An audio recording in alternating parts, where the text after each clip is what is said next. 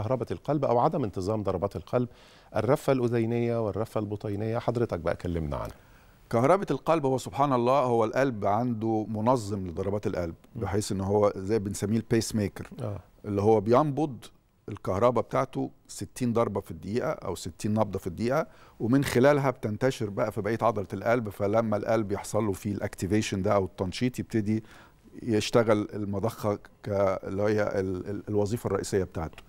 بيحصل ساعات بقى إن ال- الكهرباء بتاعت القلب يحصل فيها اختلال. يا إما بالبطء أيوة. إنها ما تضربش 60 تضرب 40 تضرب 30 وبالتالي ده بيحصل فيه مشكلة. البطء ده مشكلة في حد ذاته أحد الأمراض.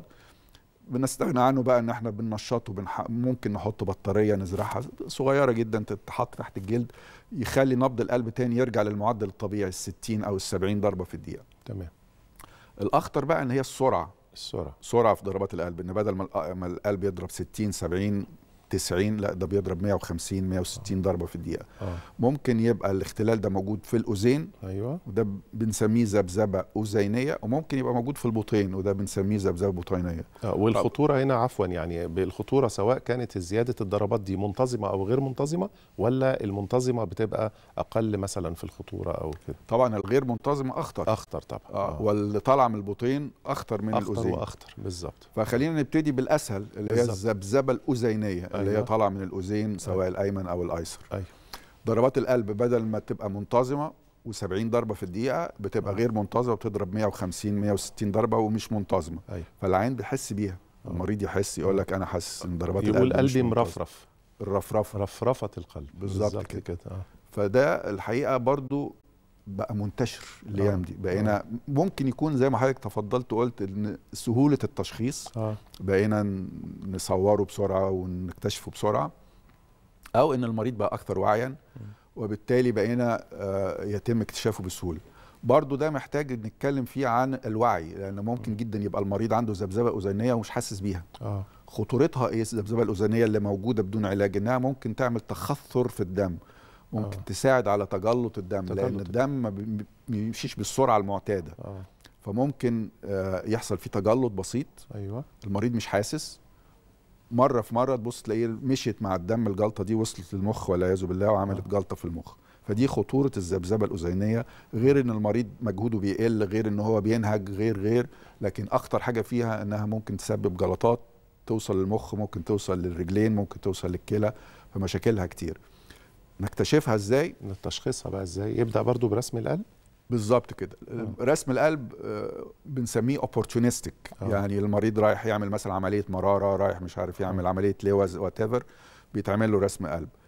أو ال check up الفحص اللي هو بيتعمل كل سنة مرة. برضه بيتعمل له رسم قلب. لكن المشكلة في رسم القلب ده إنه هو بيتعمل في نص دقيقة في دقيقة في خمس دقائق ممكن في لحظتها ما آه. ما تبانش يكونش باين. آه بالظبط الذبذبه. الاذينيه صح. فساعات لو إحنا شاكين انها موجودة بنركب اللي هو تسجيل رسم القلب 24 ساعة اللي هو ال Holter. ال Holter آه. آه. وابتدينا دلوقتي نستخدم بقى أدوات جديدة زي الساعة ال- برضو ال digital الساعة الإلكترونية والحاجات بالظبط. آه. ودي عليها دلوقتي برضو حوار كبير ما بين جداً. العلماء وما بين علماء التكنولوجيا وعلماء الطب. لو بس واضح إن هي المستقبل يعني. هي دي المستقبل. آه بالظبط. آه. لأن المريض لابسها فبتسجل له ضربات القلب النبض بتاعه على مدار ال 24 ساعة. آه. وهو طالع السلم وهو نايم وهو صاحي وبالتالي دي بتدي يعني سكريننج لمدار اليوم آه. وبعدين عايش بيها بقى شهور. طبعا. مشكلتها إن ممكن تكتشف حالات مش محتاجه علاج. آه. يعني إمتى نبتدي نعالج؟ أيوه. ده لسه إحنا ما عرفناش أو ما حددناش بالظبط مين العيان اللي إحنا نعالجه. هل- مثلا لو ظهرت لمدة خمس ثواني أو 30 ثانية أو دقيقة واختفت هل ده ياخد علاج؟ آه. ولا لا، لو. استمرت معاه ساعة معينة أو ساعتين معينة. صحيح. وضربات القلب دي هل لازم نثبتها بعد كده برسم القلب العادي؟ لغاية النهارده آه. ما آه. ينفعش إن أنا أشخص وأقول إن العيان ده عنده ذبذبة اذينيه بمجرد إن هو ظهر على الساعة بتاعته آه إشارات. لازم أثبتها برسم القلب العادي أو برسم القلب ال 24 ساعة. آه. ممكن في المستقبل الكرايتيريا تتغير. آه.